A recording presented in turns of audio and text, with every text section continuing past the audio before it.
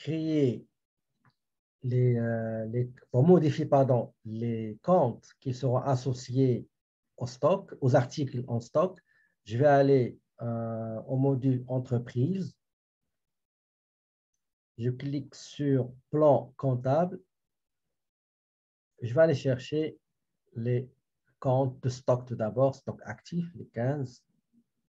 Voilà, j'ai 15, 20, 15, 30, 15, 40. On commence par le premier. Le premier, stock A. Moi, je vais mettre cage de transport pour chat. Je fais copier-coller et je vais, vous dire pourquoi. Donc, copier. J'enregistre. Je vais aller au compte produit. Pour faire la même chose, je vais aller dans la classe 4 classe 4. Donc, c'est 40-20. Je vais changer ça par cage de transport pour chat. Enregistré. Je vais aller chercher 50-20. Donc, 50-20. 50-20. Voilà. Le CMV. J'enregistre. Maintenant, je vais aller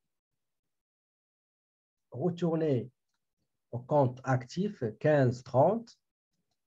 Je vais modifier l'intitulé du compte. Je vais mettre le deuxième article qui est le kit de toilettage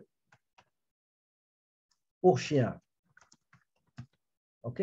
Donc, kit de toilettage pour chien, copier pour le coller dans les deux autres, les 40, 30 et 50, 30. J'enregistre. Je vais aller chercher 40, 30. Euh, Donc 40, 30, elle est là. Je modifie l'intitulé. Je le remplace par qui de toilettage pour chien. Je dois faire la même chose dans 50, 30. 50, 30, elle est là. Je remplace cet intitulé standard avec le kit de toilettage pour chien et j'enregistre. Je retourne à l'actif. Donc 1540. Maintenant 1540, c'est stock C.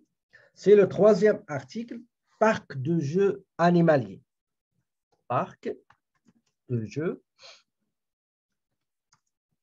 animaliers. Copier bien sûr pour le coller ailleurs j'enregistre et je passe vers 40, 40, 40, 40. 40, c'est celui-là. Et je le remplace par parc de jeux animaliers. Et il me reste uniquement 50, 40. 50, 40. Voilà et j'enregistre. OK? Donc, pour le moment, c'est correct. Maintenant, euh, autre chose que je vais faire, c'est de paramétrer l'escompte pour le client. D'accord? Tout ça, il faut le noter. Donc, escompte pour le client. Et à chaque fois que vous paramétrez, vous finissez le paramétrage, ben, vous allez marquer sur votre feuille comme quoi euh, c'est déjà fait. OK?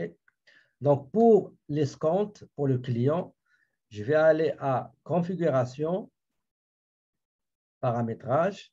Regardez, même le, le, paramètre, si vous êtes habitué avec ça, en bas ici, vous avez le paramétrage. En bas, vous cliquez, vous allez directement au paramétrage. D'accord? Euh, Qu'est-ce que je dis Oui, l'escompte. Pour ce qui est escompte, je vais aller à client et vente remise et je sélectionne calculer les remises sur paiement anticipé avant les taxes. J'enregistre. Paramètres. Parfois, il y en a qui vont trouver euro comme symbole. D'accord? Donc, vous allez dans euh, euh, entreprise devise et vous sélectionnez euh, le symbole des dollars. Maintenant, ce qui concerne le séparateur de décimales.